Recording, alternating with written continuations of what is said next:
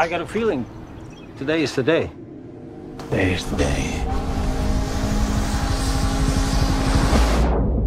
I can feel him this time. I can feel him.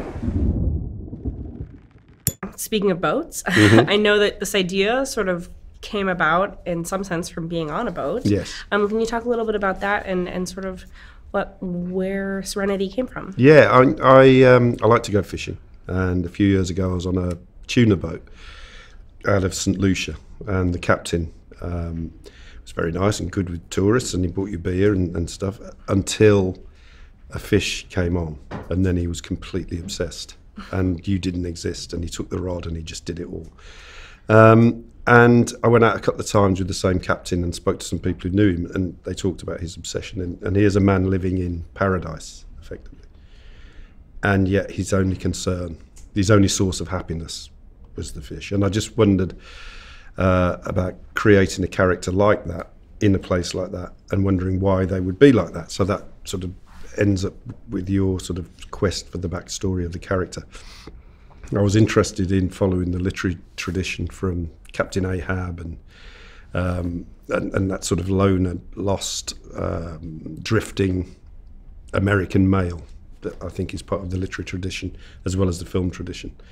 Um, and came up with Baker Dill, and then when I'd got the story, I also at the same time wanted to see if I could set up a story with protagonists and stakes, and then completely take it away and destroy it and see if the character, like a sort of a lost wheel on a wrecked car, could just carry on down the road. So what's the biggest fish you've ever caught? That one, the one that we caught, I don't know if you've heard the story about uh, No. Matthew and I, when we went got to Mauritius. Uh, Matthew hadn't fished before, so we took him out on a on the boat that became the set.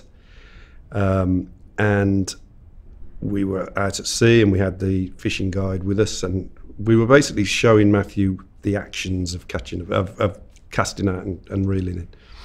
And so they put some bait on the hook and threw it out, and he was talking about this is what you would do, and this is how the and the, the rod went in a spectacular way, and it was it was early for a fish like that to be on, but Matthew then reeled in. I think it was a 185 pound bluefin tuna, and this was just us, not even rehearsing. This was just us getting used to the tackle. I was going to ask you sort of your top five favorite. You can choose either movies that made you want when you were growing up that made you want to work in mm-hmm. movies, or your top five favorite like noir films.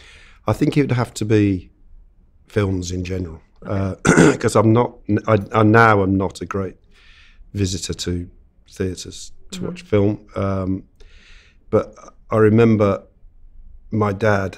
We very rarely went to the cinema, but my dad used to take us to the cinema occasionally, and it was always to see a western, and it was always John Wayne. And I think The Searchers was my favourite film.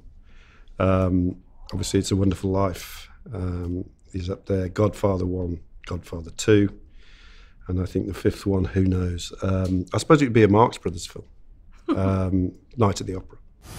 You gonna tell me what this is all about?